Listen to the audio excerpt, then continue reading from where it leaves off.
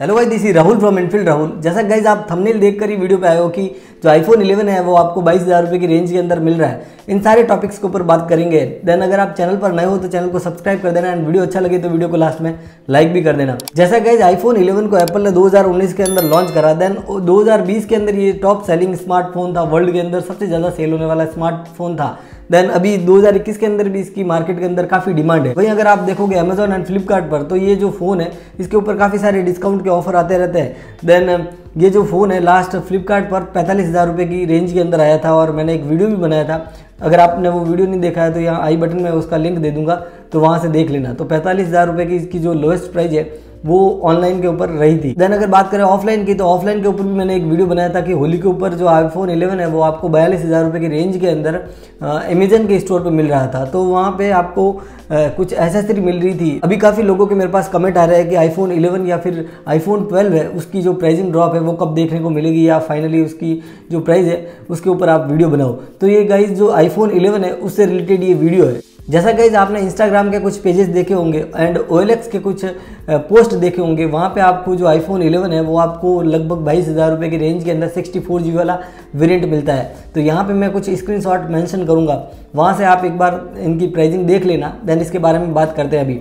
जैसा कि जो आईफोन 11 है, वो अभी इसकी जो मार्केट के अंदर प्राइस है, वो आपको पैंतालीस हज़ार रुपये के नीचे कहीं नहीं मिलने वाला है। कुछ ऑफर्स भी आ जाएँगे, फिर भी नहीं मिलने वाला है बट इंस्टाग्राम एंड जो ओ है, वहाँ पे लोगों के साथ में काफ़ी फ्रॉड हो रहा है बट वो अभी भी लोग नहीं संभल रहे। तो इस, ये वीडियो बनाने का मेरा मोटिव यही है कि जो इंस्टाग्राम एंड जो ओ है, वहाँ पे ऐसे पोस्ट है जो मैंने अभी अपलोड करा है कि आपको आईफोन 11 है 64 जी वाला, वो आपको बाईस हज़ार रुपये की रेंज के अंदर मिल रहा है। फर्स्टली जो आईफोन 11 की जो प्राइस है, वो आपको पैंतालीस हज़ार रुपये से कम कहीं नहीं मिलने वाला है। देन अगर आपको मिलेगा भी तो वो आपको एक सेकेंड हैंड आईफोन मिलेगा एंड उसकी भी प्राइस अगर बात करें तो वो आपको पैंतीस हज़ार रुपये से नीचे सिक्सटी फोर जी वाला वेरियंट कहीं नहीं मिलने वाला है। ऑल इंडिया में अगर आप कहीं भी ट्राई कर लो तो आईफोन 11 का जो सिक्सटी फोर जी वाला वेरिएंट है, वो आपको लगभग पैंतालीस हज़ार रुपये से पैंतीस हज़ार रुपये के बीच में सेकेंड हैंड मिलेगा। एंड अगर आप नए की बात करें तो वो पैंतालीस हज़ार रुपये ही है।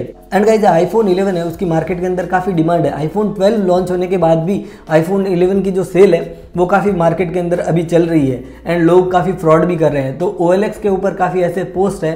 एंड वहाँ से आप जब उनसे ट्राई करोगे कांटेक्ट करने की तो वो आपको व्हाट्सअप का लिंक दे देंगे या फिर व्हाट्सअप के नंबर देंगे।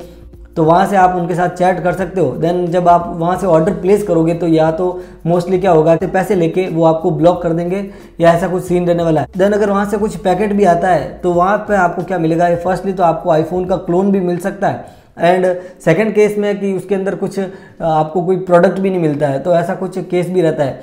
तो गाइज़ मेरा ये वीडियो बनाने का मोटिव यही है कि आप ऐसे फ्रॉड के अंदर नहीं आए। अगर आपको आईफोन परचेज करना है तो एक लीगल ऑथोराइज रिसेलर से परचेज करो, या फिर ऐसा कोई सेलर से परचेज करो कि उसके पास में जो लीगल है, वो बिल हो। अगर गाइज़ आपको ओ से फ़ोन सेकेंड हैंड परचेज ही करना है तो आप अपनी सिटी के अंदर ऐसा पोस्ट देखो कि वो आपकी सिटी का हो। देन उस बंदे से कॉन्टैक्ट करो और उसके घर पर जाके या फिर कहीं उसको बुला के वहाँ पे डील करो एंड आईफोन को चेक करो।